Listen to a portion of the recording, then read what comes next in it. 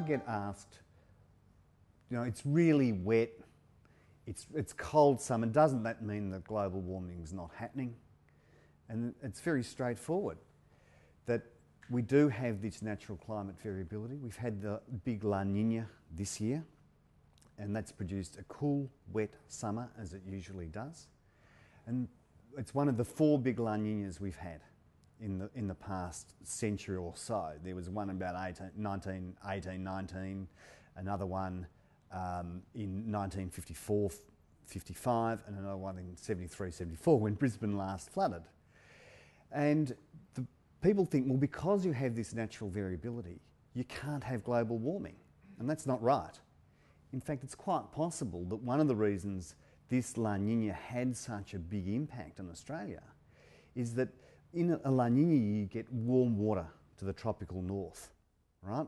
And that's what produces a, a lot of the moisture that goes into the atmosphere to bring us the rain. Well, in this last summer, we've had record warm sea surface temperatures, some of the warmest on record. So the possibility is that we've had a La Nina that has become more severe because of an underlying warming state. So if you get the idea, global warming produces the weather we were going to have, but more so. So that's why they talk about having more extreme weather events. And yeah, it exaggerates things, give them a, gives them a bit of a boost. And we certainly know that with a warmer planet, when you are going to get those really, really hot days, they can become a bit hotter.